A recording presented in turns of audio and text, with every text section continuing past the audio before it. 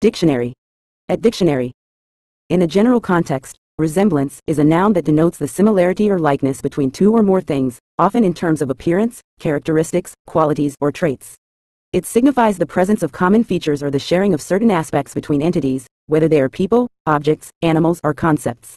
Resemblance can be physical, such as the resemblance between family members, or it can be metaphorical, indicating similarities in behavior, ideas, or patterns.